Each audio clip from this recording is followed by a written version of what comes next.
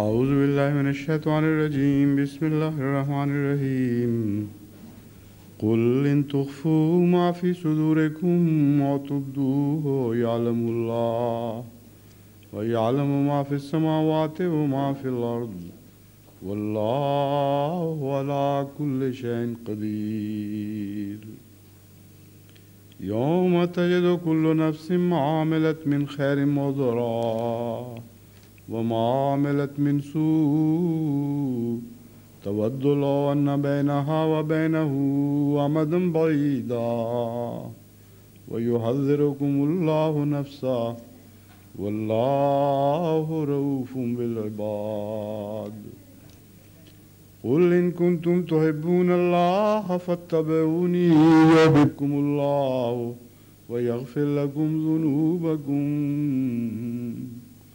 والله غفور رحيم قل اطيعوا الله والرسول فإن تولوا فإن الله لا يحب الكافرين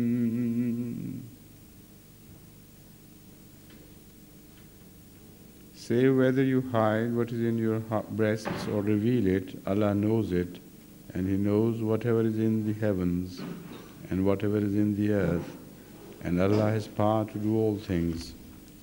Beware of the day when every soul shall find itself confronted with all the goods it has done, all the good it has done, and all the evil it has done. It will wish there were a great distance between it and that evil. And Allah cautions you against His punishment. And Allah is most compassionate to His servants. Say if you love, if you love Allah, follow me. Then will Allah love you and forgive you your sins. And Allah is most forgiving and merciful. Say, obey Allah and His Messenger, but if they turn away, then remember that Allah loves not the disbelievers.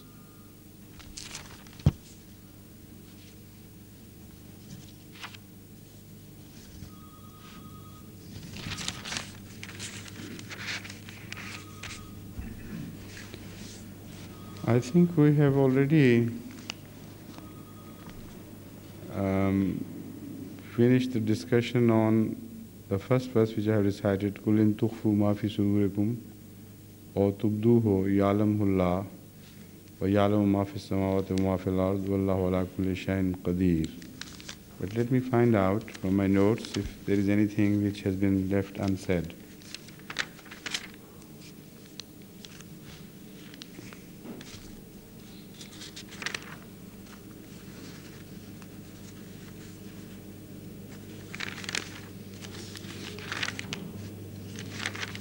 Yes, I think that is already finished. Now we turn to the second verse, that is 31. Beware of the day when every soul shall find itself confronted with all the good it has done and all the evil it has done. It will wish there were a great distance between it and the evil, and Allah cautions you against His punishment and Allah is most compassionate to His servants.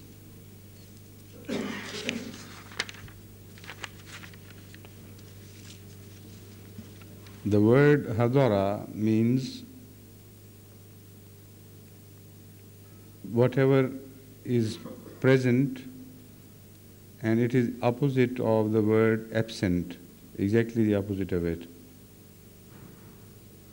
And if you say Hazara Zaidunul Makan, that somebody Zaid uh, Hazara the Makan, then it, it would mean that he presented himself there. Similarly, it, the word uh, is used um, with regards to the thoughts. If somebody thinks of something or something happens to, uh, comes to his mind as if without his personal effort. You know, sometimes things occur to somebody And uh, in that case, the Arabs do use the word hadarahu, khatara balehi. That is to say, it just uh, occurred to him. Azara Shah means he presented something, made something present. Or I should say, caused something to be present.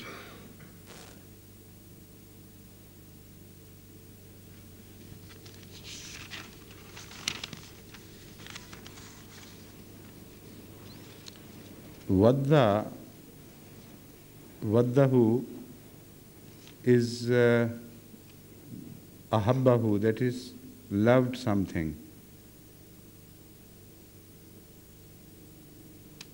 So, exceeding desire, which is intense, is expressed by the word vadda.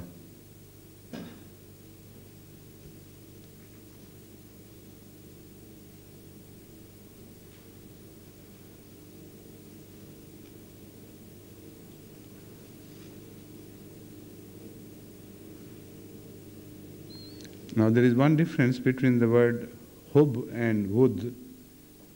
That uh, hub is uh, love and vada also has the connotation of desire. Vada vada, which means somebody desired something. Hub is uh, just sheer love, as we understand in every other language too. So you can't say, can't express desire by the word hubba, by the word hub, but you can use the word wud for expressing your desire. According, this is according to Mufradat.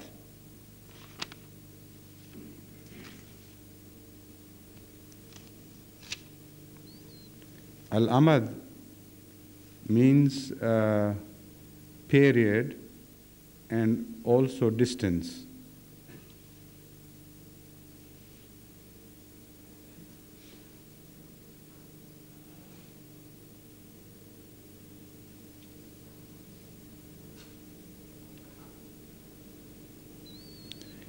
Al Amad and Al Abad, they are two Arabic words which are similar in sound as well as in the meaning. And Amad is used for a measure of time which is very long, so long as uh, it's close to Abad. Abad means everlasting. So Amad is used to express uh, very long periods of time.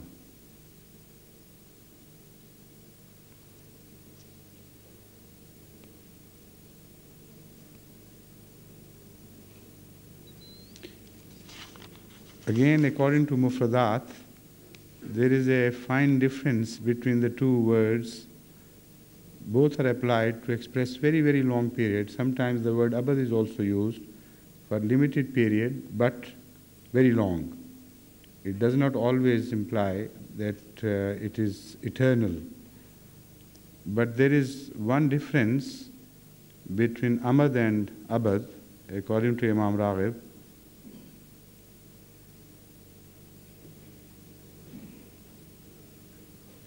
Abad is, uh, according to him, can apply to unlimited period. Also, very long period, but unlimited, which continues forever and forever. But Amad mainly applies to a period which is long and undefined. So, any long period which is not defined would be expressed by the word Amad.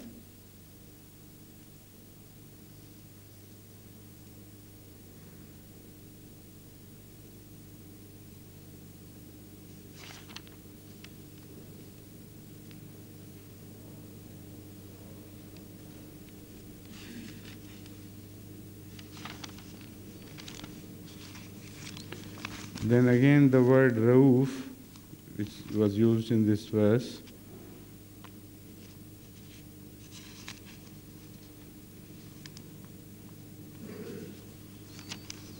according to Lisan, Rauf is a word which uh, is very similar in meaning to Rahma. Rafat is similar to meaning in Rahma. So Rauf would be similar in meaning to Rahim. But in the Holy Quran, we read this about Hazrat Rasul Akram sallallahu alaihi wasallam, Rabil Muminina Raufur Rahim. So is that a sheer repetition of the same word to intensify the meaning, or is there a distinction, some fine distinction between the two words? According to Lisan, there is a difference in the two words. It is, uh, according to him, akhassu rahma, akhassu min rahma.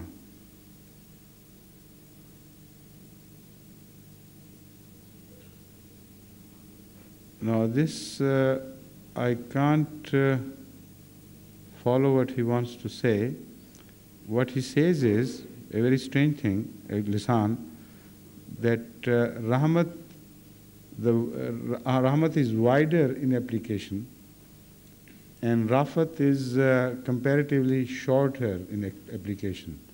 That is to say, the region of application of rahma is much wider, and of rafa comparatively limited.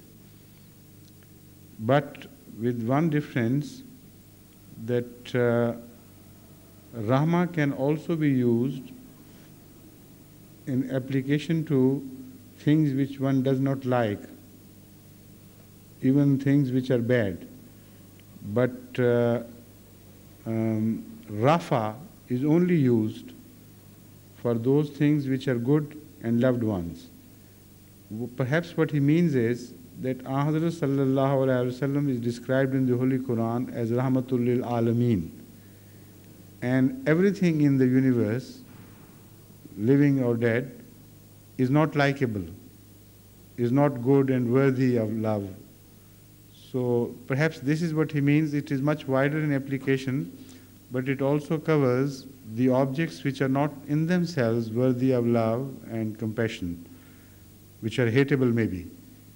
But Rahma covers even them. While Rafa is only used in application to those people or things which are really worthy of love.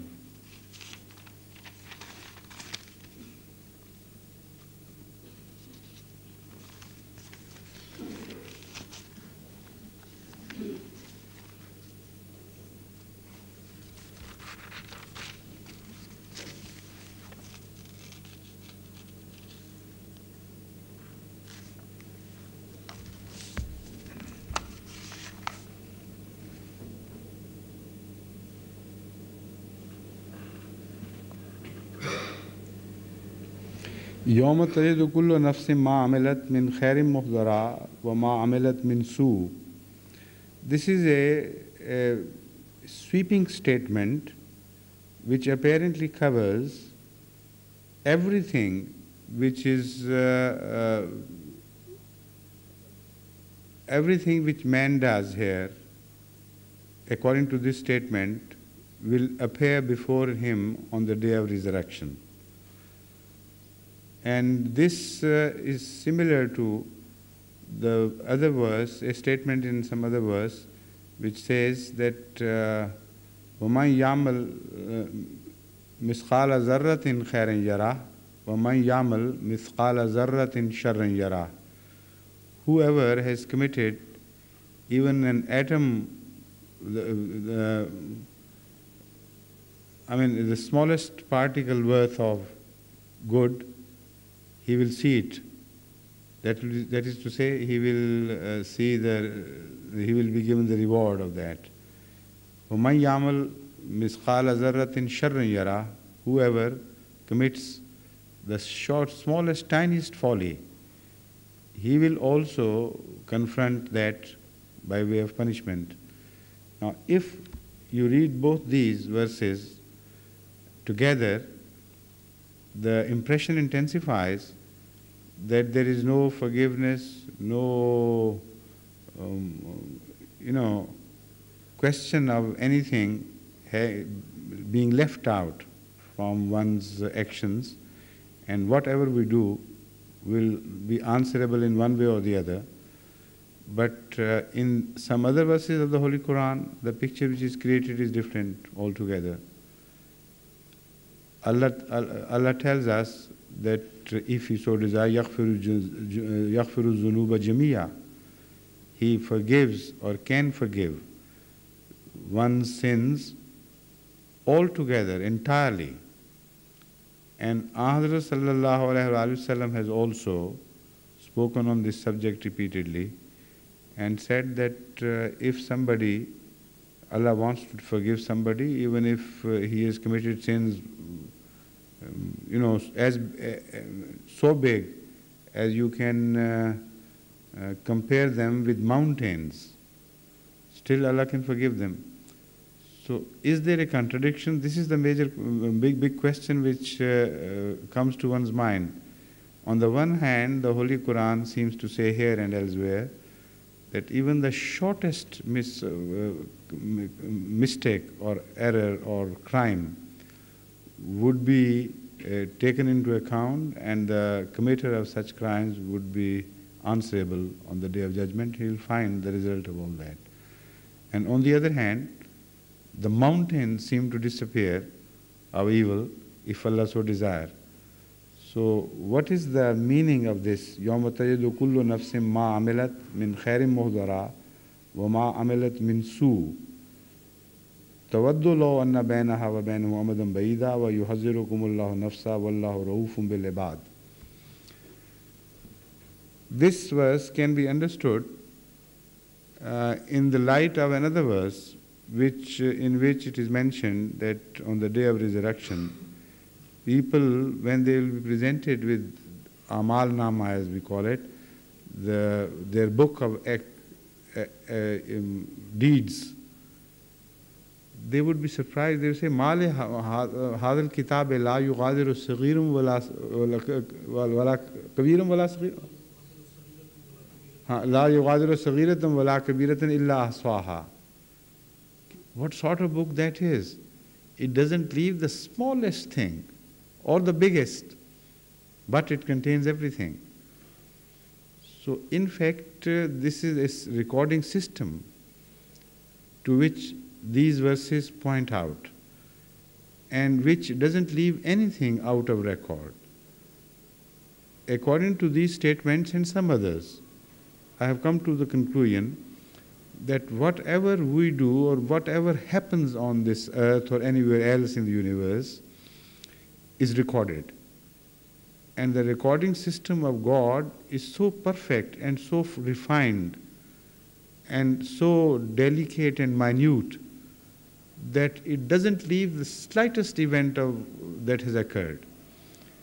Also, the biggest event that has occurred. So that book has, uh, uh, you know, no limitations uh, on either side. The smallest can be recorded and the biggest can be recorded.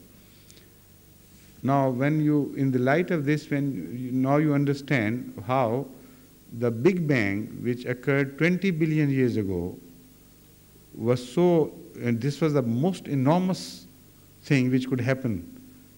The whole universe came into being in one Big Bang.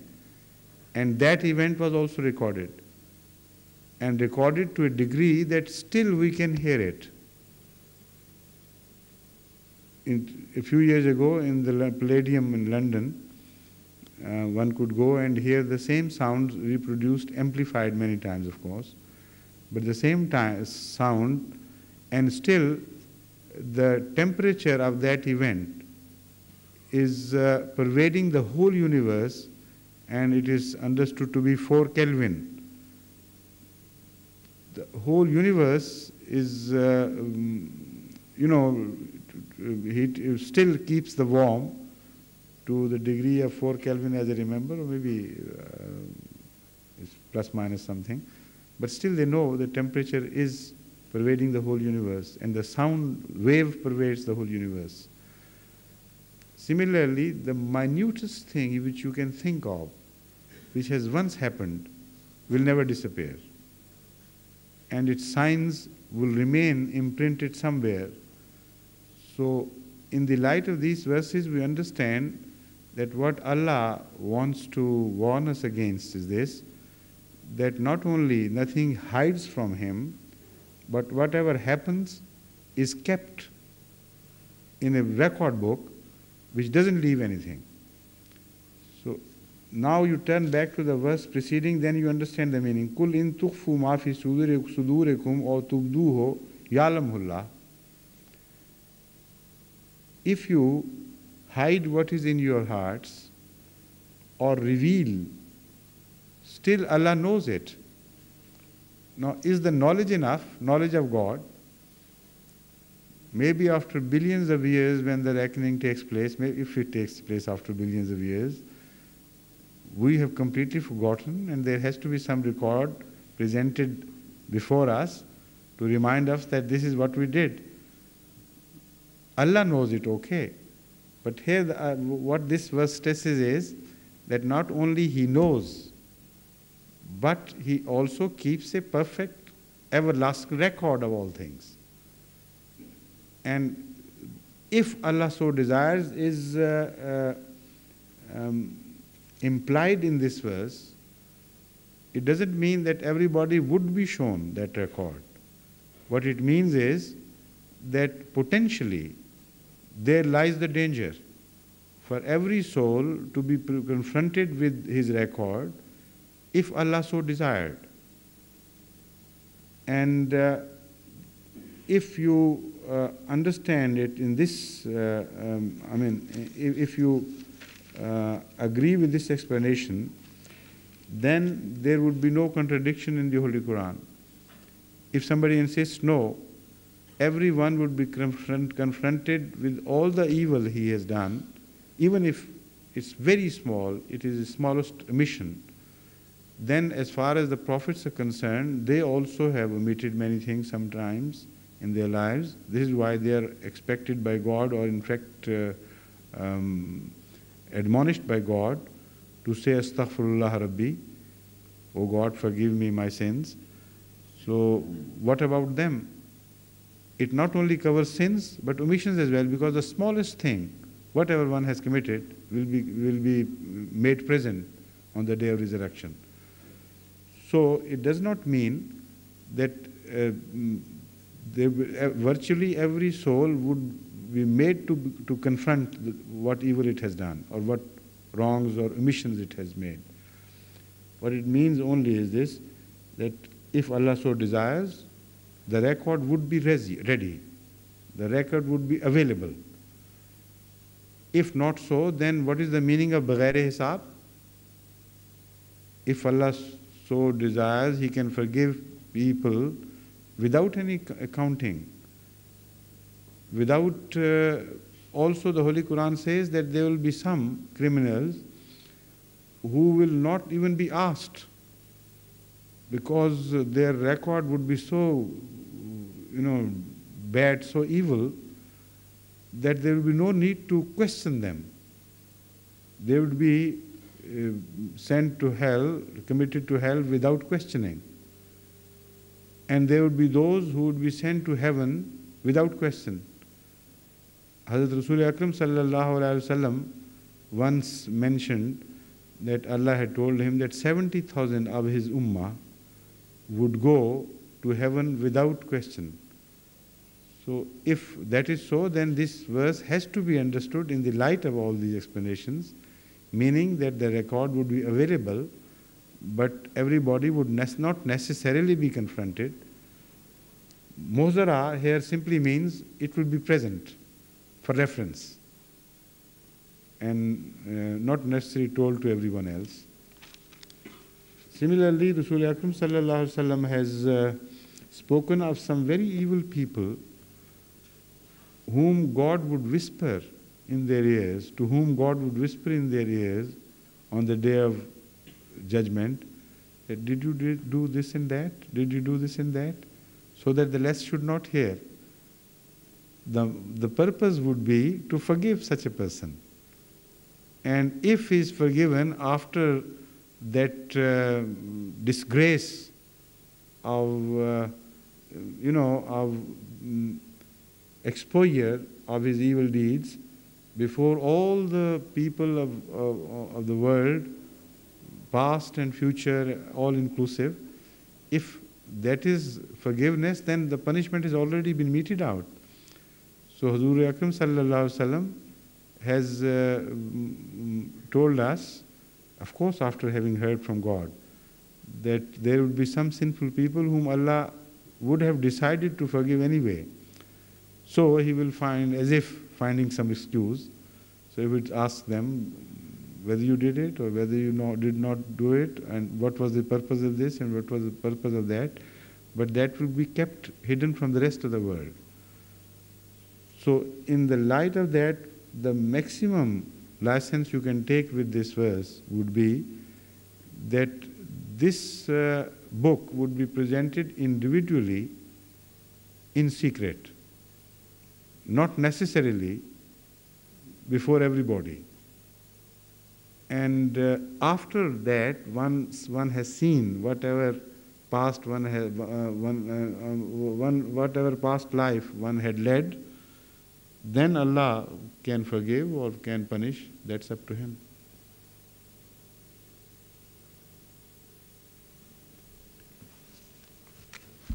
وَيُحَذِّرُكُمُ اللَّهُ نَفْسَهُ وَاللَّهُ رَؤُوفٌ بِالْعِبَادِ And God uh, warns you or cautions you against His punishment.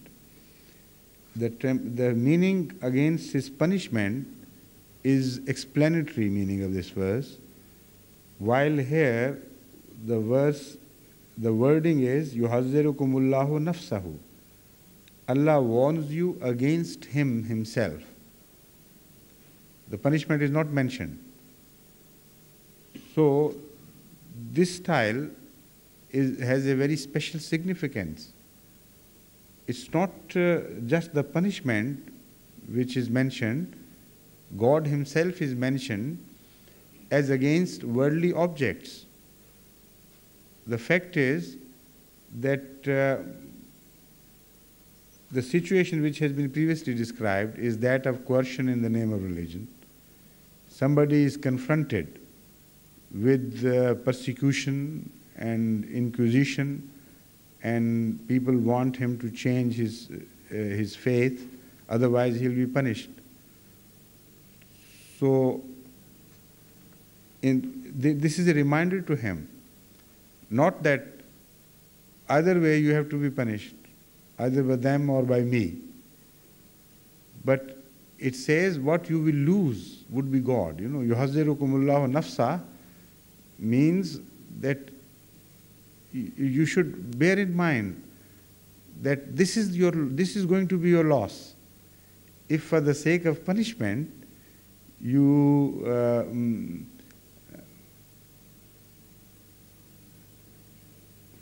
make a false statement against your belief, this is the situation which is described and you say things, uh, disparaging thing against God, for instance, or against the holy ones, if you confront with this situation, it is not just the punishment which Allah reminds you about, uh, uh, against. Doesn't say that either this punishment or a bigger punishment. In such a state, the poor man would find himself very much, you know, in a pitiable state that whatever he does, he's going to be punished anyway. So it is not a very, very nice way of saying things. But the way the Holy Quran has said is, is much more beautiful. The punishment is implied, maybe, but the emphasis is laid on the person of God. Yuhazirukumullahu nafsa, God warns you against Himself. That is to say, God is going to be your loss. And this is exactly what the previous verse has said. Allah will have nothing to do with you. So yuhazirukum in this meaning is well supported by the verses of the Holy Quran in the very in the, in the same context.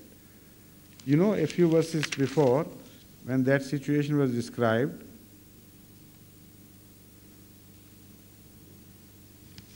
ذَلِكَ فَلَيْسَ مِنَ اللَّهِ فِي شَيْءٍ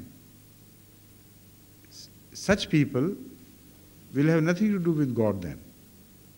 They will choose their uh, allies or uh, their um, mentors other than God, Once they are inclined towards them, then they will have nothing to do with Allah. Allah would be their loss. So that is why the word nafsa is repeatedly used, not the punishment of God.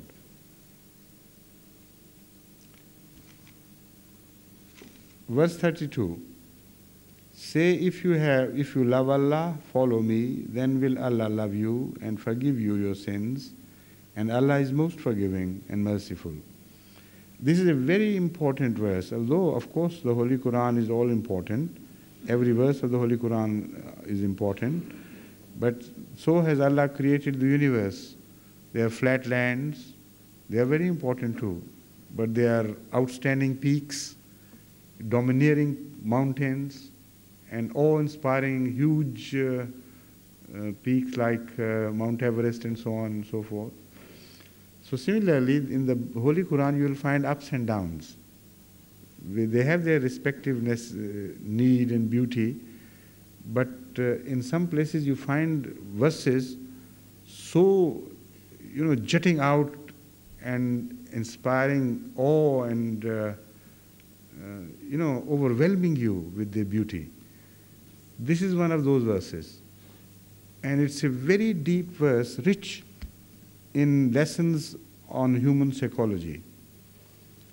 Qul in kuntum tuhibbun Allah fattabi'uni. Say, if you love Allah, then follow me.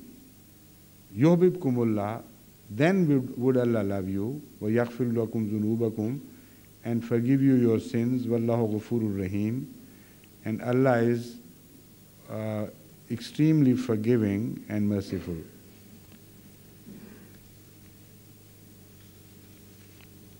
Now, I have got uh, all the solution of the word hub through dictionary, but I think we shouldn't waste our time there because the word hub is very well understood by everybody. There are two things, two words, which are so well understood by all human beings love and hate that uh, this is perhaps the first lesson in emotions which a child learns, and this is the last which one can uh, ever forget. So the word hub is in Arabic stands for the same feeling of attraction towards an object which is experienced by all men alike and uh, they have their counterparts in every language and everybody understands the word love. So although there is a very long uh, discussion on the various usages of the word hub in various Arabic dictionaries, for the time being I am proceeding directly with the commentary of the Holy Quran without referring to these um, uh, references found in various different uh, various Arabic dictionaries. But I'll, I may turn to them later if the occasion so demands. Every religion teaches uh, love of God. That is to say, every such religion in which you find the concept of God. And everyone who belongs to a religion either positively claims or believes that he loves God. So the love of God is the very essence of religion. But if you claim you love God, how can you yourself find out that you do not? How can one anywhere in the world find out that uh, he does not love but he thinks he loves. So when you consider this possibility of people being duped in their beliefs about themselves, then you a large expanse of various possibilities opens up before you. In ordinary life, we claim we love someone, and when then we find ourselves abandoning such people at times of crisis. And it so happens that for every love, there is a threshold of tolerance. The greater the pressure and trial against that love would be, the higher would, uh, no, there would be a time when that threshold will be crossed over and uh, the loved one would be abandoned. This is the most important thing about love, which the Holy Quran has pointed out, and to my knowledge, no other religion has. For instance, in the, in, in the surahs, in the end chapter of the Holy Quran, it is said that on the time, on the day of, uh, uh, well, that day could be some day here and some, or some day in the hereafter, some time in the hereafter. But a period of punishment is described where the mothers would abandon their children and sisters would abandon their brothers and so on and so forth. The dearly loved ones will be no longer the preferred ones. So that is going to be the limit of trial, whatever trial Allah has in store for uh, uh, certain people. That shows that number one, love can be measured in degrees as to how much love can stand. Now, what is love? That has to be understood, and then when we'll turn to this, this, this uh, verse, some very interesting uh, discussions would uh, ensue from that. Love is preference of one's own self to uh, preference which one gives under certain situations to others against his own self. If one does it, that act is caused or generated by love. And uh, in, as reward of that, we are uh, accustomed to getting some price of that sacrifice.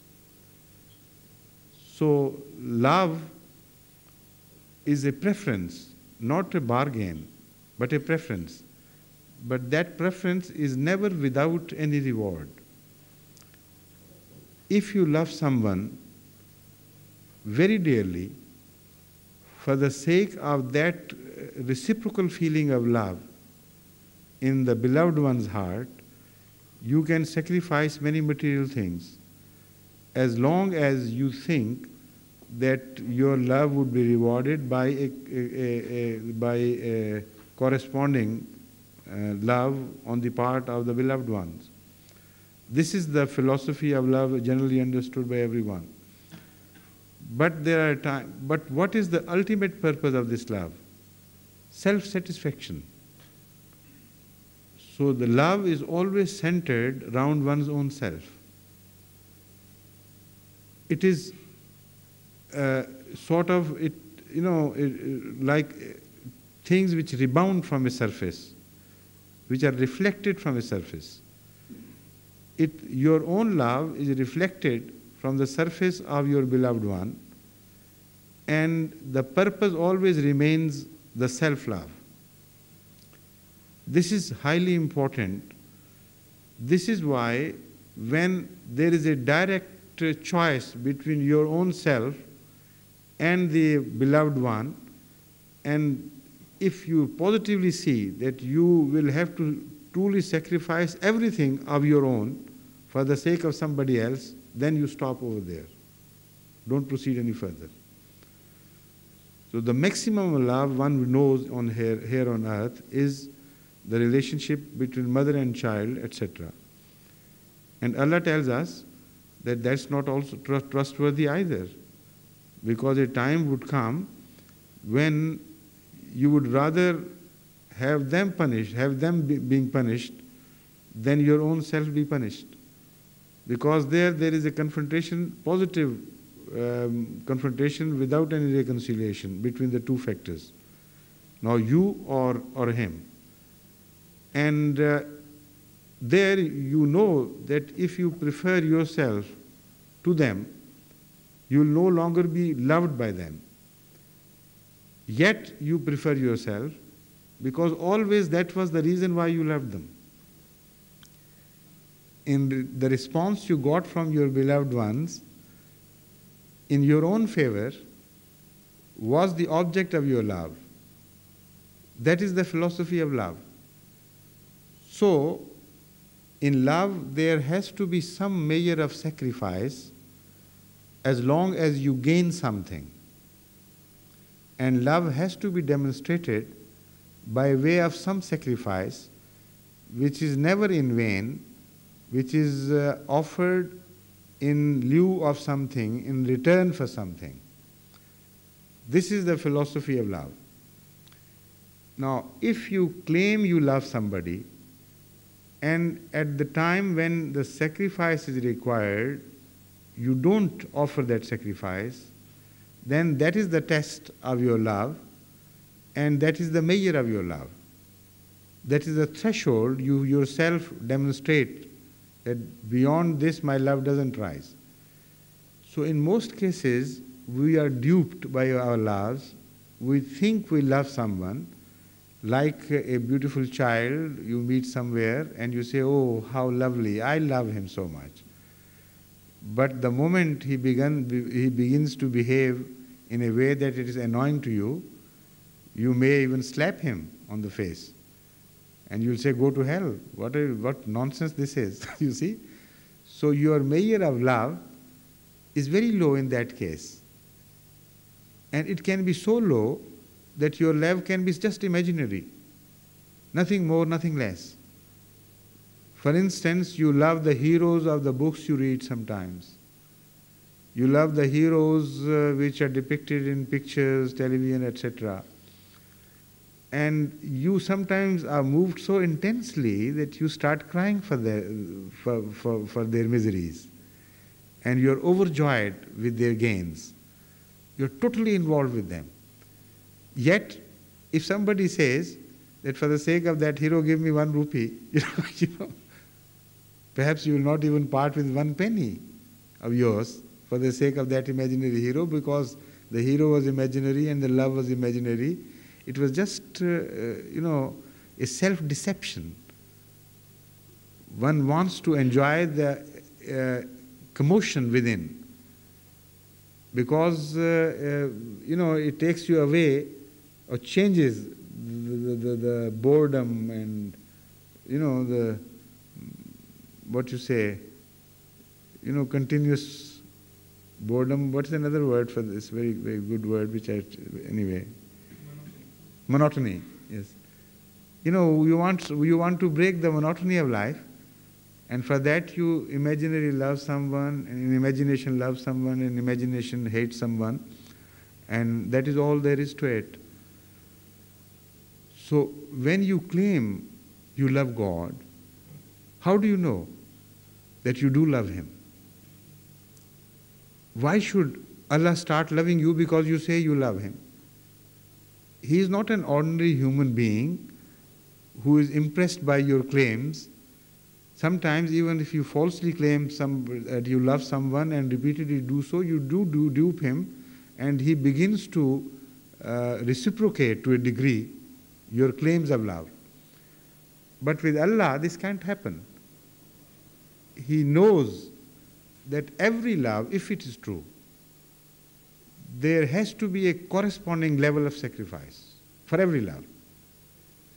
And uh, if you love Allah, the threshold of that love should be the highest because that is the most sublime love that is, can be uh, experienced by man.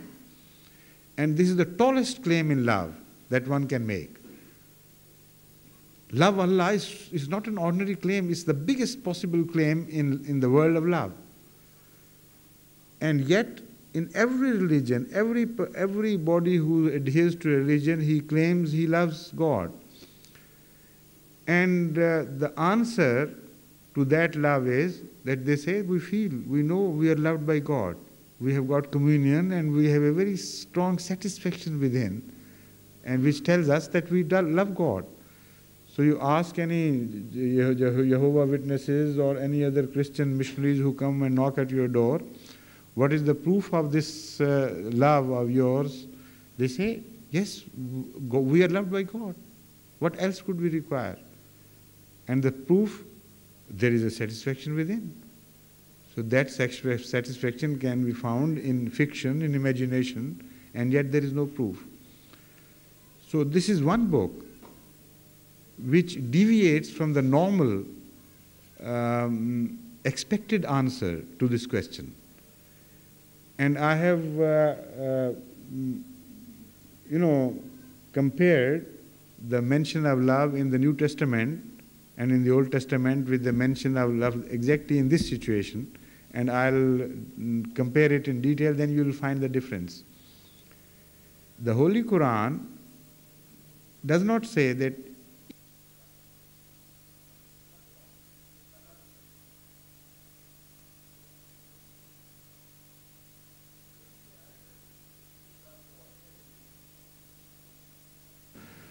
but uh, we'll come to turn to them later.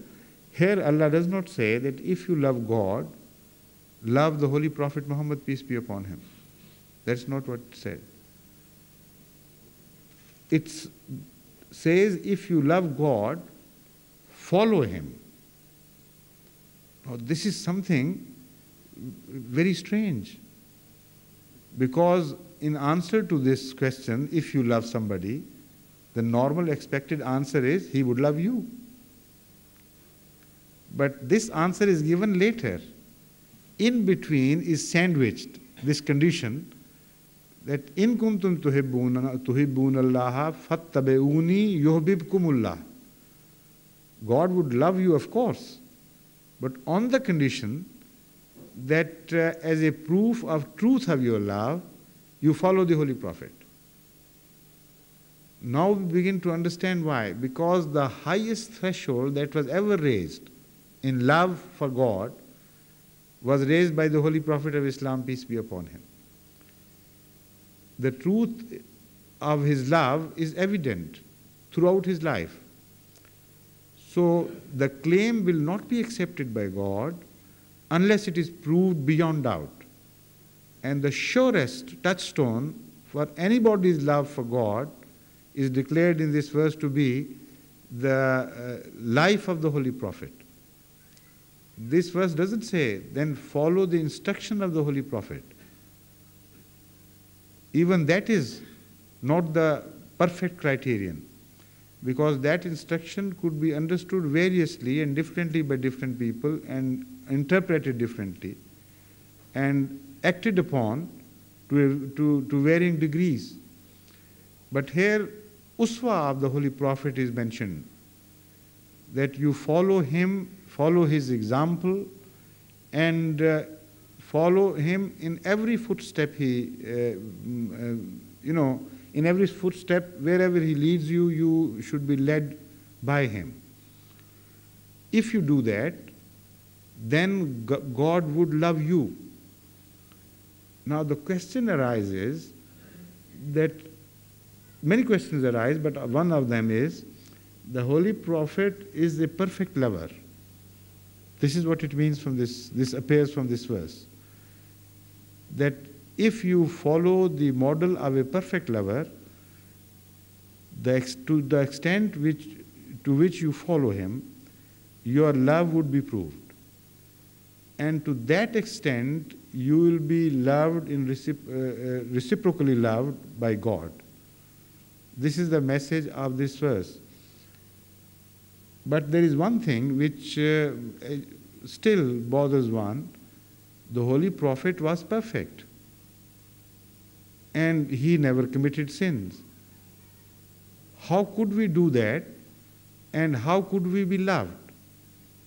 And similarly, immediately another question arises that according to Christian theology, according to the Christian philosophy, anybody who has committed a sin cannot be loved by God unless his sin is washed.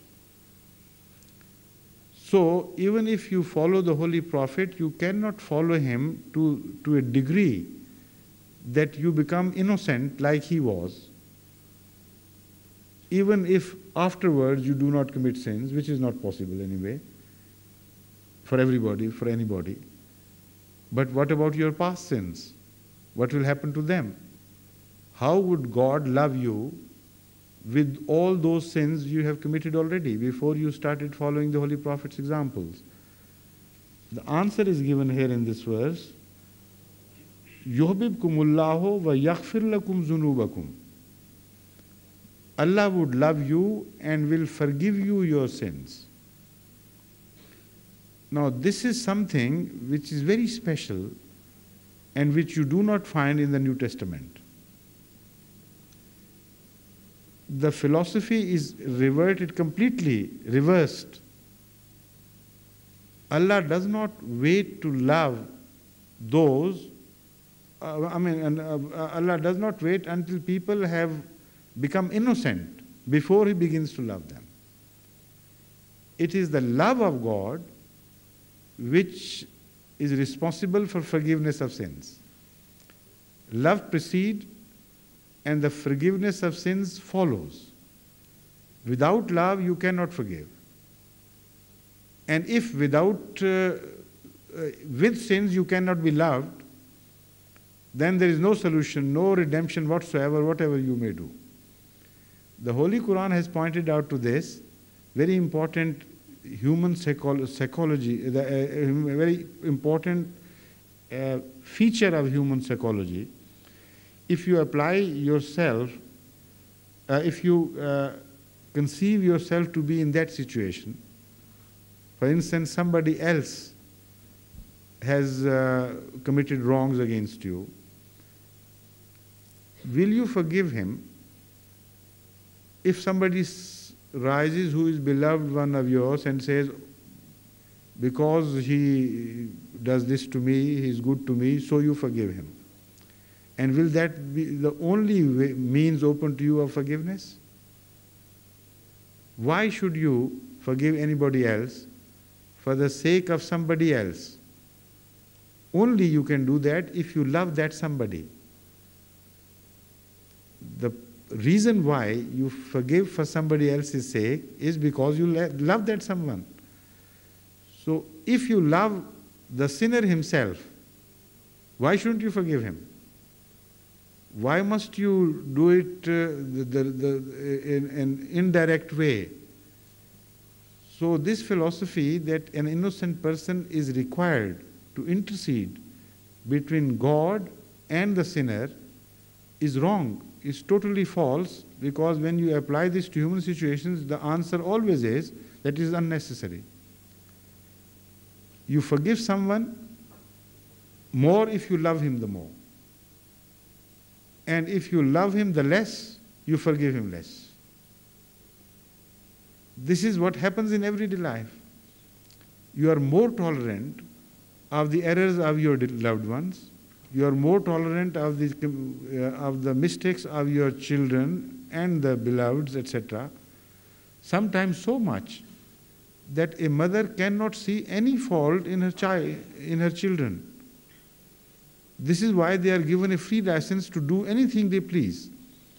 I have seen such mothers who uh, walk into your house with their children and their children play havoc with the order of your house they throw things right and left, make right and left, make noises, you know, spill water and even make water anywhere they please. And the mothers will not be, you know, disturbed. If not, they won't turn a single hair. And they sit complacently as if nothing has happened.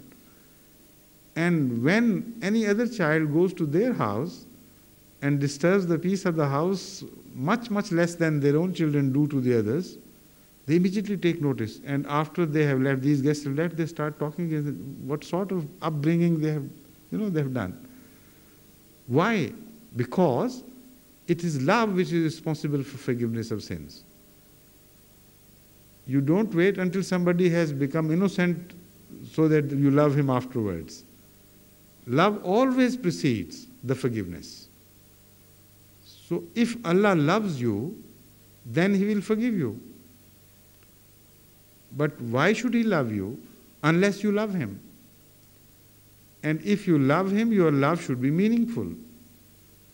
And for that meaningfulness, you have to demonstrate it that you're honest in your love with sacrifices, with uh, uh, you know purposeful actions which prove your love. So the best possible criterion, the most perfect criterion, which has been uh, mentioned in the Holy Quran for, as a touchstone for one's love, is the conduct of the Holy Prophet of Islam.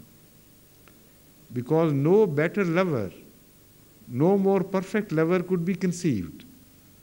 So we are given a scientific demonstration in which we can never falter, which we can never make mistakes. If we love Allah, Allah would judge us according to our following how far and how much and how truly and meaningfully we follow the Holy Prophet of Islam. If we follow his examples, then thereby we'll prove that we love Allah that much. And if we can't follow him beyond, then we'll prove that we can't go that beyond that. That is our limit. So the left, what is left out? What would happen to that? Allah immediately assures us, يَغْفِرْ لَكُمْ ذُنُوبَكُمْ After Allah, you have gained Allah's love by demonstrating the truth and sincerity of your love, then you should rest assured that Allah is forgiving and more He loves people, more He becomes forgiving to them. So, this is what this verse has told us. Now, a world of uh, instruction is, in, is, uh, is contained in this short verse. As Hazrat Aisha Siddiqa anha told us, the uh, um, Sirat, how would you translate Sirat as? The lifestyle? The lifestyle of the Holy Prophet was the Holy Quran. So the Holy Quran is mentioned in nutshell here by inviting our attention to the importance of the um, model of Hazrat Muhammad Mustafa sallallahu alaihi wasallam and uh, when you conceive him in your imagination what he is, he is the living example of the Holy Quran. So, in that regard, the whole, the entire Holy Quran becomes the touchstone, but as understood through the mirror of the Holy Prophet of Islam, and as understood through the practice of the Holy Prophet of Islam. This is what is mentioned here.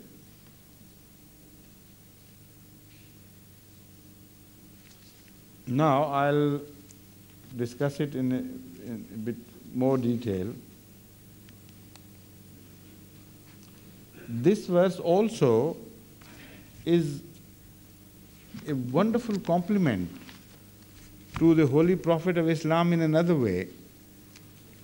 You know, there are many other verses which speak of love of God and uh, the um, expectation of God from those who love Him. In so many ways, at various places, and Allah says Allah loves those who uh, do this, and Allah loves those who do that, and Allah does not love those who do this and do that. So, all that which is mentioned in detail applies to the Holy Prophet of Islam in the first instance, or this verse has no right to be here.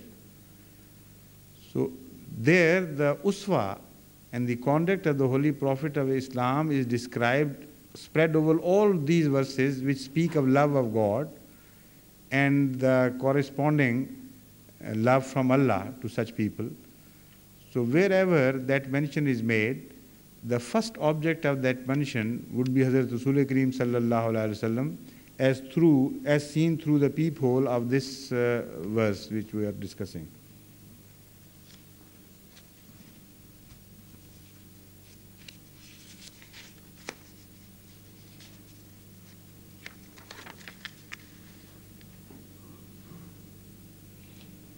This uh, picture, which is created by this verse, has been uh, depicted in a very beautiful uh, um, Arab, uh, uh, a couplet of Arabic verse which has been quoted by Tafsir Ruhul Maani with regards to the explanation of this word.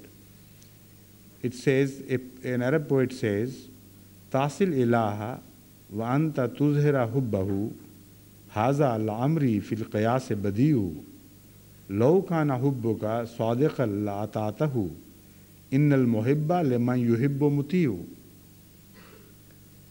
it says that you um, disobey Allah, your Lord, and yet you claim that you love Him. Haza lamri fil qiyas badiyu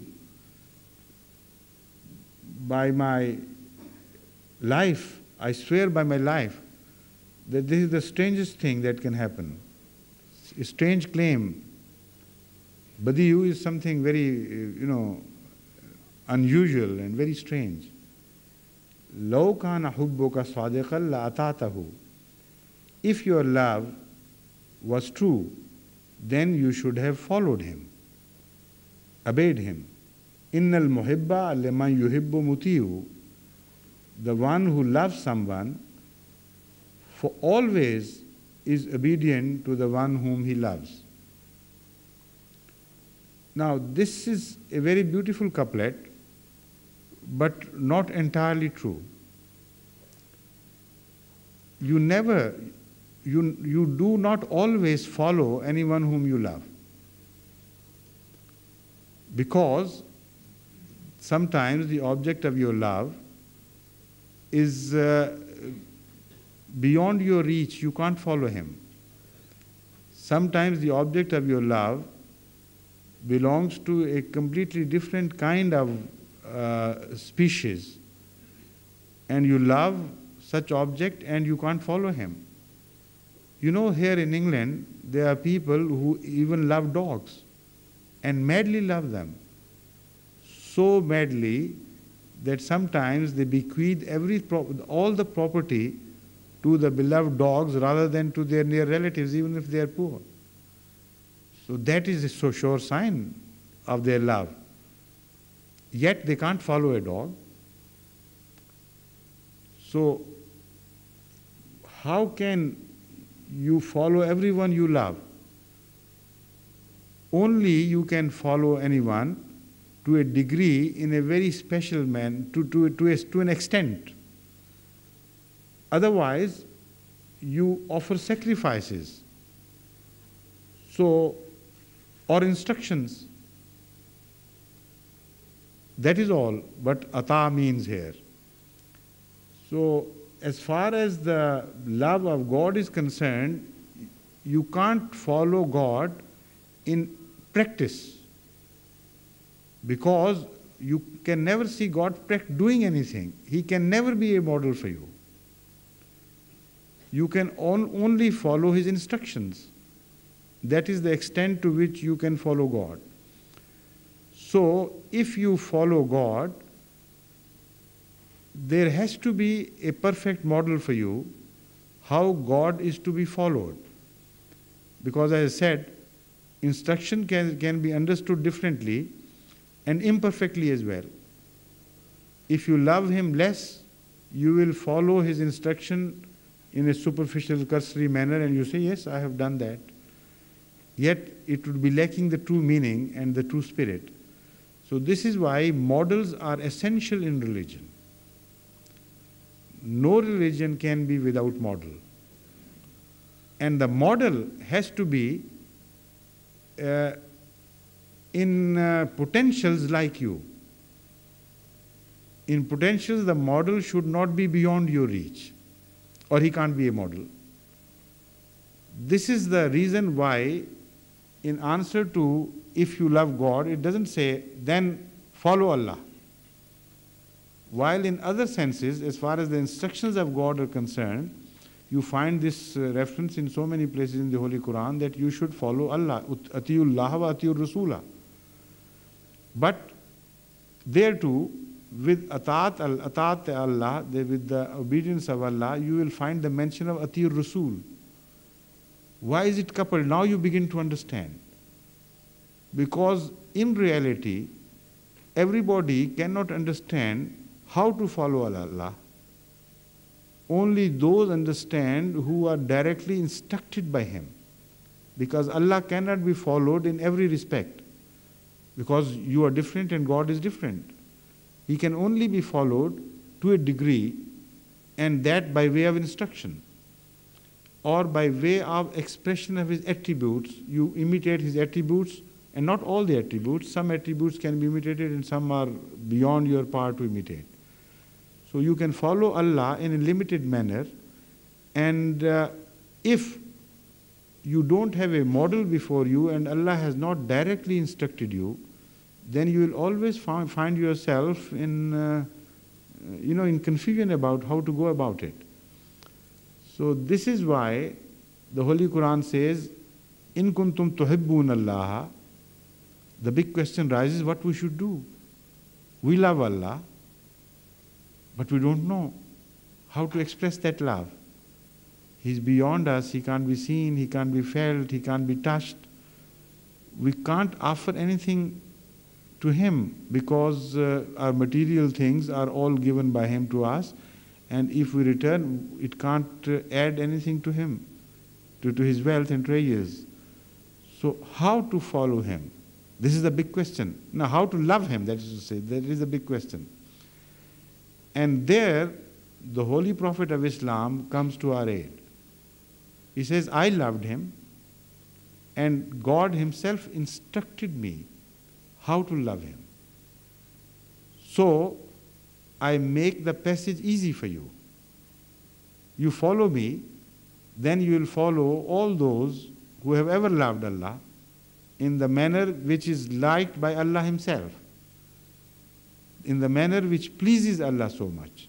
So the answer is, Yuhbibkumullah, then Allah will love you. Now there is another connotation of this verse, which is also very intriguing and very interesting. Sometimes you love somebody truly and honestly, you are ready to sacrifice anything for, himself, for him, but you express your love in a manner that you become more and more loathsome to the person whom you love.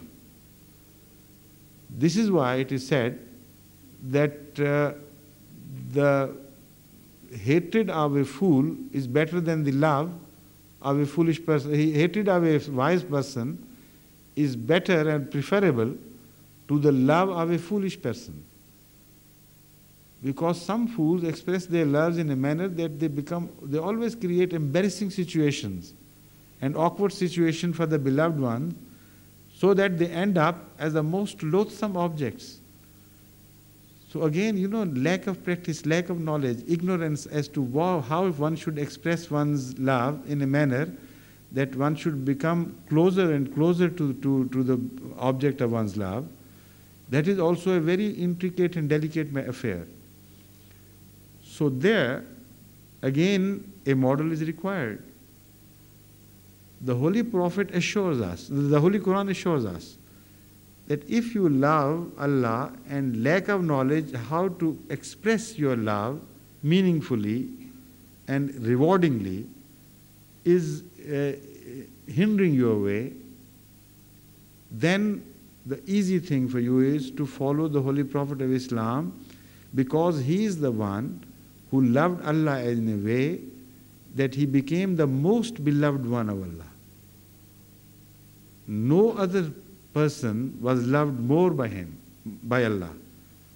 So the best thing for you and the safest thing for you is to start following the Holy Prophet of Islam and then everything you do in his imitation would gain you Allah's love.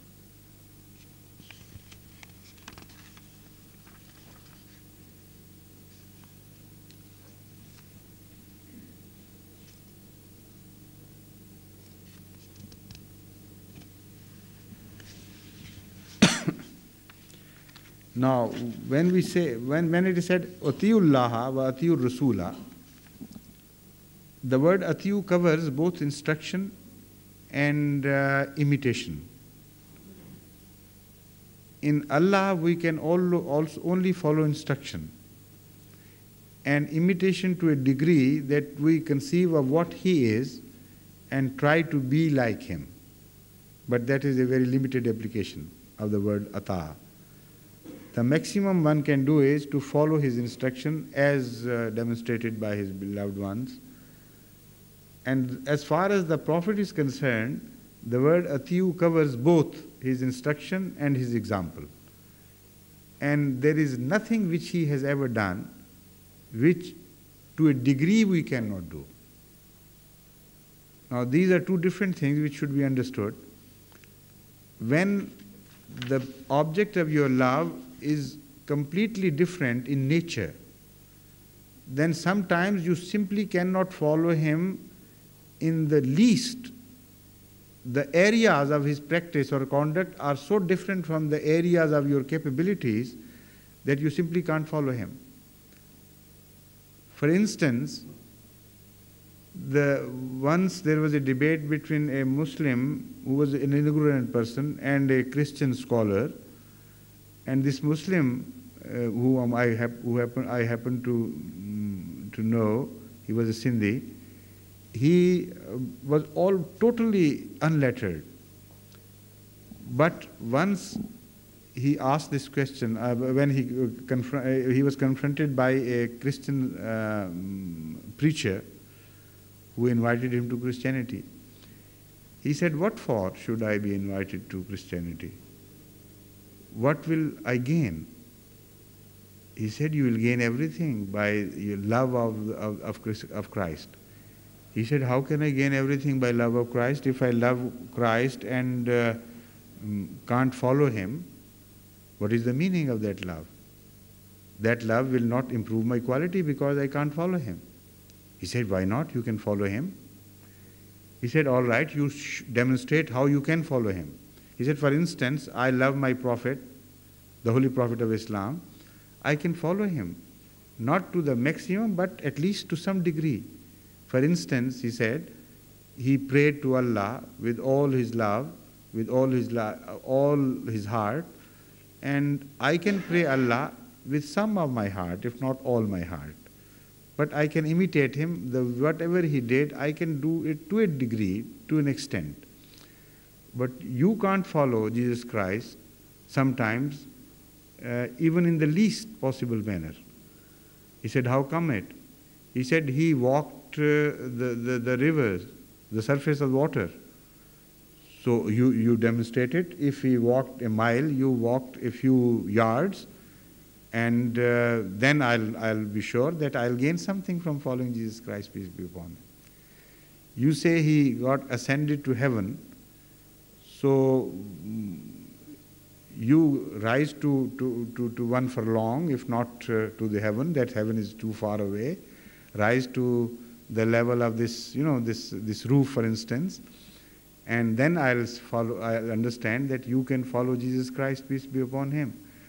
But if he is of some nature, something which is beyond us completely, he can't be a model. So, model has to be a human for human beings.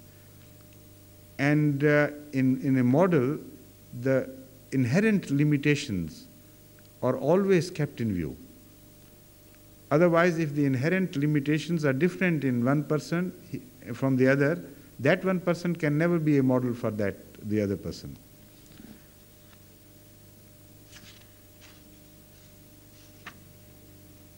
Hazrat Rasul Kareem sallallahu alaihi wasallam became became model in everything for us. Now, this is a very vast subject, and it's impossible for me to discuss everything, then I'll start reading the whole Quran and demonstrating how he became the model and the traditions in the Hadith. So it's an unending subject. But I can't leave it all together because it's a very interesting subject too. So I have taken a few illustrations here and there to impress upon you the importance of this verse and to how you can uh, enter the world of realities from the world of myths and imaginations in your love of God. It has become a science in the view of this, this, this verse. It's for everybody to measure his uh, love of God to the minutest degree. And it's a very scientific approach, there is no imagination, no myth involved. And Anand has also explained it through his instructions in many places. And when you read those instructions, you are surprised that this is not what you expected. He's talking of love of God, and as sign of love of God, he's mentioning things which are not apparently not related with love of God. Because it say, the, the, he says, Man arada an yuhibbahullahu fa alayhi bisidqil hadithe fa adail amanate wa Allah yozi jarahu. If somebody wants that he should be loved by Allah, just his claim will not uh, stand him in any, any good stead. فَعَلَيْهِ بِصِدْقٍ he should be truthful. Wa adail amanate. And he should be, uh, he should uh, be trustworthy. He should uh, return the trust which is laid in him and should not uh, deprive anybody of his rights. Allah yozi jarahu, and he should not be of any discomfort or pain or, uh, you know, um, nothing uh, evil should flow him to his neighbor. His, show, his neighbor should never be given any complaint from him. Now, this is the um, criterion put by Ahmad of Allah's love. And now, in view of that verse, when you begin to understand this instruction, you immediately know that in kuntum tuhibbun Allah fattabeuni would require all this. Rasul Akram sallallahu wasallam gained Allah's love through this, through these exercises, these practices. He did not gain Allah's love just like it happened all his life was an intense life of labor in the path of Allah and of his beautification, personal beautification. Now, the answer here, which is, becomes apparent, is that if you love a beautiful object, you have to be beautiful yourself. In what way can you be beautiful? How can you be beautiful so that he begins to love you? These are illustrations, some illustrations how you can be beautiful in the sight of Allah. Immediately, the moment you claim, you enter a, a, a huge life of perseverance and persuasion of some noble objects, which uh, cover the entire area of human interest. So here, three demonstrations which are given to us by the Holy Prophet of Islam are uh, sidq, sidqul hadith, truthfulness is the most important thing in one to make him worthy of Allah's love. And the Holy Prophet's uh, career, the Holy Prophet's lifestyle was built around this central, uh, central beauty, that is truth. This is why he was called Siddiq even before he was a prophet. And Siddiq is the most, unfortunately, the most essential thing which is most often forgotten by those who claim love of Allah. And you'll be surprised how much falsehood is indulged in in the world of religious people. They all claim they love Allah and they make tell lies in the name of Allah. And they deceive others and they don't bother about this. And they indulge sometimes in, in, in, in filthy falsehoods and false allegations, and they don't care. And still they claim that they love Allah and they are beloved of Allah. So the most important thing has been mentioned first by the Holy Prophet of Islam. And this could not have been said by somebody who had not gone through that experience. The Holy Prophet knew that the best expression of his love to God was his becoming truthful. And the most essential part of a lover of God should be truth. In essence, this is the Holy Quran. And the most overriding factor in uh, everything which is responsible for the beautification of man. This is why once the Holy Prophet of Islam, when he was asked about somebody, by somebody, what should I do? I'm a very evil man. I'm, you know, riddled with, with flaws and, and, and imperfections and crimes, etc. But give me one instruction, just ask me one thing to do, and I promise I'll do that. But I can't uh, change in everything, I can't reform um, in every way that I am evil. It's so much for me to reform. Just give me one instruction and I'll follow it. The Holy Prophet smiled and said, All right, that is a promise. Never tell lies. you know, be truthful. So he, they parted company, and after that, when he thought of, uh, for instance, going out at night for stealing, he said, Everybody knows that I am one of, one of the thieves in the area. If in the morning they begin to ask me, even if I hide myself, if they inquire from me, was it you who stole last night? What would I say? I have promised the Holy Prophet that I will not tell a lie. Said, All right, I'll leave, leave it for tonight. Similarly, one after the other, whenever he was about to commit something, there was a possibility of his being caught or his being suspected. And the question asked whether he was responsible for this or for that. And he went through a reformation which was complete and consummate, a completely changed person. So, this is how you begin to gain Allah's love. And the first lesson is so difficult, though apparently easy that uh, if you uh, begin to examine good people's lives closely, seldom will you find someone who has not lied in his life. Seldom will you find someone whom you think he has never lied, but still perhaps he knows better and he would know that here and there in some stages of his life he um, indulged in false statements, etc., if not entirely, partially. So, the uh, answer which seemed to be so small, short, and easy, you know, follow me, you know, has begun to uh, acquire importance, which is, you know, like, like uh, a mountain before us. And the very first lesson which has been given to us by the Holy Prophet, how you follow me, is so difficult, but so all important too. Because if you follow this one step, the rest of the journey will become so easy for you. So sidq is very important. Adail amanate.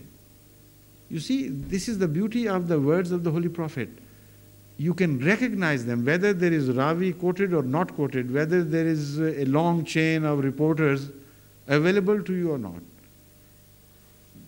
They have a stamp of the Holy Prophet upon him, upon it, upon themselves, these words of the Holy Prophet, that uh, they're recognizable even in total darkness.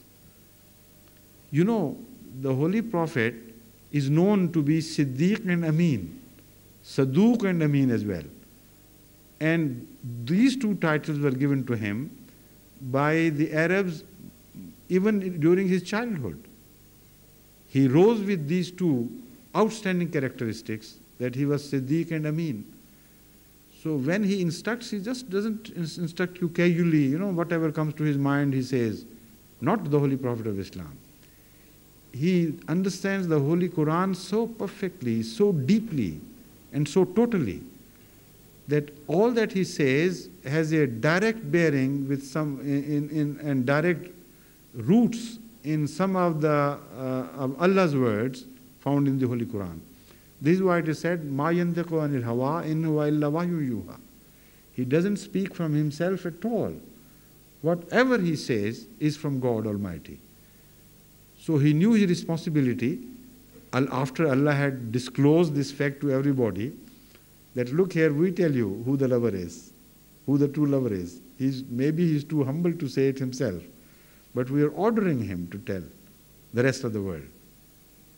So the onus of instruction then immediately is shifted to the shoulder of the Holy Prophet of Islam. And how does he start? He starts with this.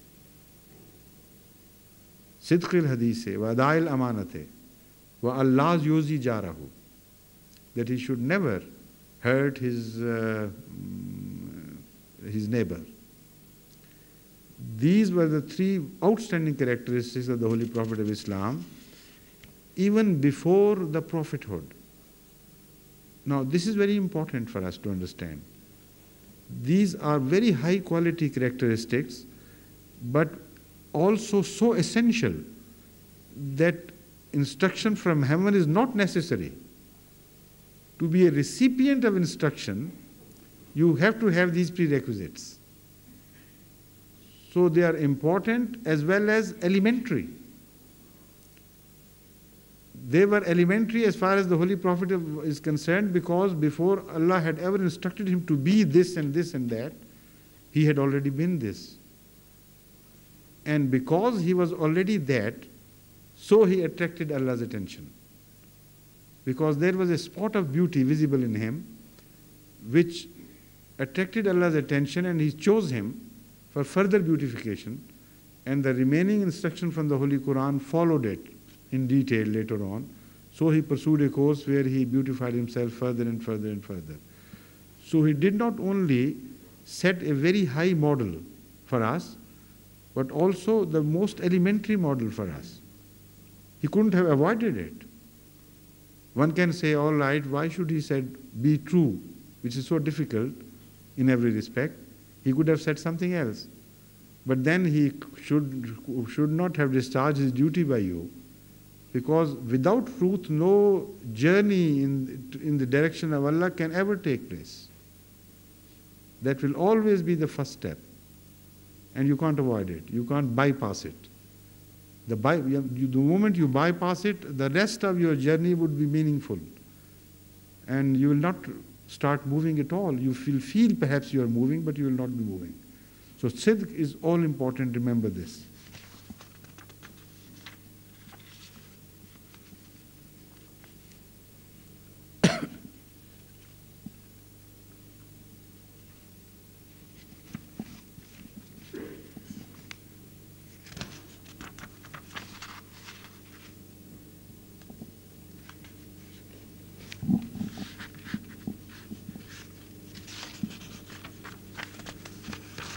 Now, there are so many um, books on the commentary of the Holy Quran which has taken, which have taken up this verse differently, but uh, not very specially. I mean, not in a manner that I should start quoting from them. So I'm look, going through the collection of these excerpts so that if anything is worthy of mention, I'll uh, share that with you.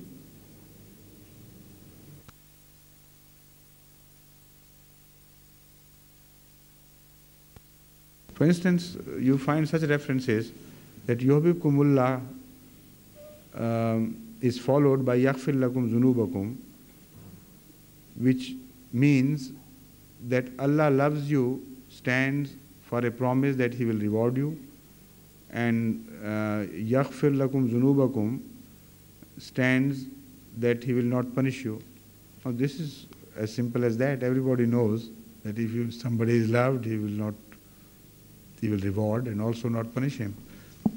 But uh, except for the good service that they have collected the traditions for us, there is not much that you find in uh, the classical commentary books.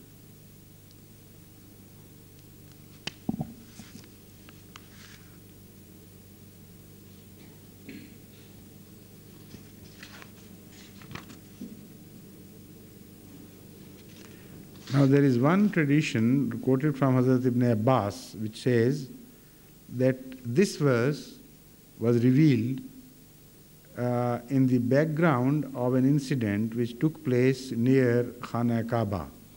near the house of God.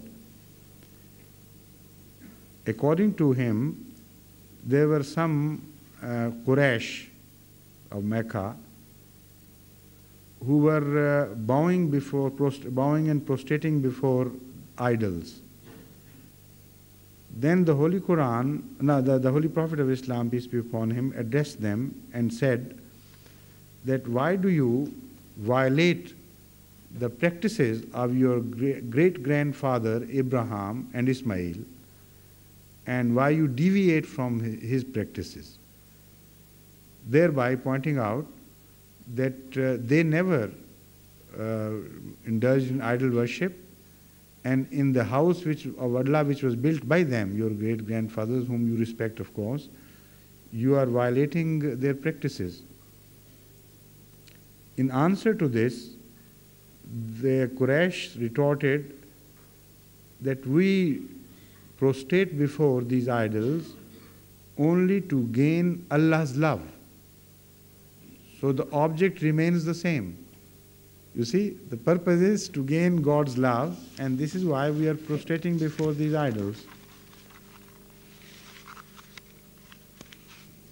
Now, against this false uh, argument, the Holy Quran, according to uh, the, uh, Allah, Allah, according to Hazrat Abbas, Ibn Abbas, revealed this verse: "Kul in kuntum tuhibbun Allah, fattabi'uni yuhibbukumullah."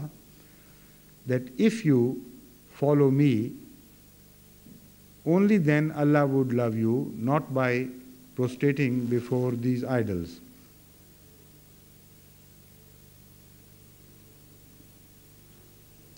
According to Al Kalabi,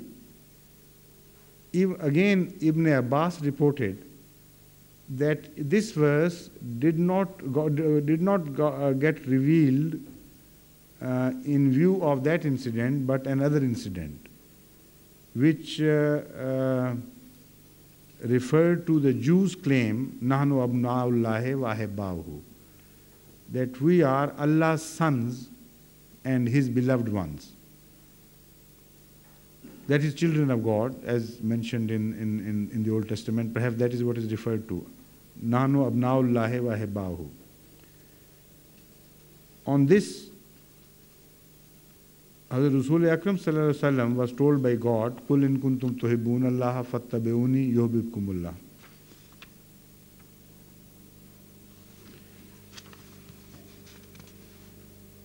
But the best explanation, if at all given by anyone, is the one which I am going to now mention. Muhammad bin Jafar bin Zubair says that this verse was in response to Christians' belief and not in response to any other belief of the Jews or uh, of the idol worshippers.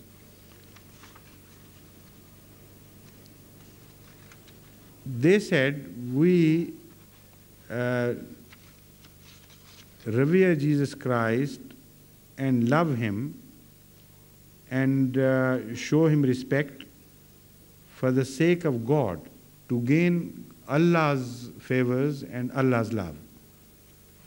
So we are not idolaters. We don't call partners beside Allah because our love of Jesus Christ is founded on our love of God. This was the claim which was made by the Christ, by the Christians. So as a rebuttal to them, it was said that if you follow Allah, if you love God, then you follow me and don't prostrate yourself to Jesus Christ, peace be upon him.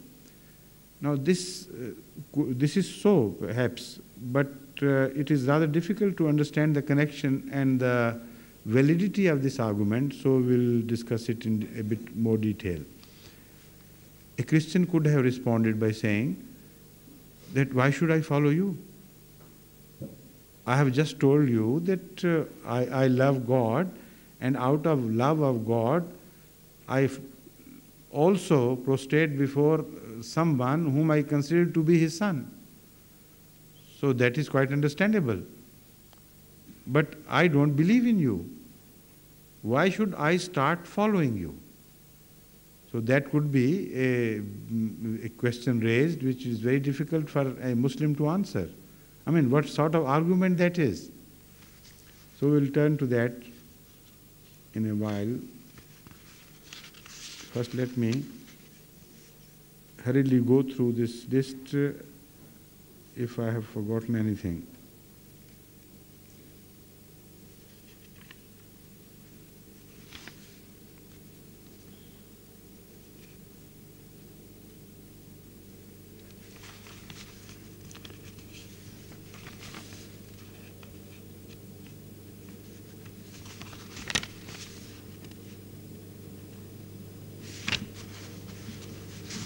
Now let's turn first to the Bible, then I'll attend, return to this question again. My God. It's already quarter to nine. You know, tonight I'm moving very slowly. And uh, my, you know, the pace of my talk is also, I can realize, very slow. The result is that I see many people just dozing off here and there because the space is uh, perhaps uh, not something which is, you know, is enough to keep people awake. The reason why I am doing this is because in my mind this verse is, is very, very important. This is one of the verses which right from the childhood I have loved so immensely. And I know there is so much in it that I want you to be carried along with me I turn the leaf of the stories hidden in this verse, one after the other, and I want you to be carried along. But it can't be done hurriedly. And sometimes also I am slow because the, while I am speaking to you on this verse, I hear a little, you know, like a noise of emotion, in the sense that this verse attracts my attention to another part Uh, which previously I had not, never thought. So I pay my attention not only to you but also to this new, you know, this sarsar like voice sound, which says there is something else here. So I have to apply my mind, you know, in two directions. Constantly paying attention to the new meaning which begin, to, which continue to appear on, on, during the discourse, and also trying to express myself in a language of which I am, of course, far from being a master. So these difficulties have created this problem of uh, speaking, addressing you slowly tonight. But uh, I assure you that this would be worthy of reward. This would be, I mean, um, uh, worthy of labor because the reward would be very enriching. Because this verse, as we will proceed further, will carry us from a beautiful domain to another beautiful domain. And this is, in fact, the essence, the very essence of uh, the philosophy of love and also the very essence of the teachings of the Holy Quran. But of that, inshallah, the rest, inshallah, we'll discuss tomorrow. No, no, I'm sorry, the day after. And uh, I'll endeavor to be short the day after and uh, you know to, I'll endeavor in the meantime to arrange my ideas in a more orderly fashion so that I can deliver them more quickly than I have been able, been able to do tonight. All right? So we proceed directly to the mosque from here.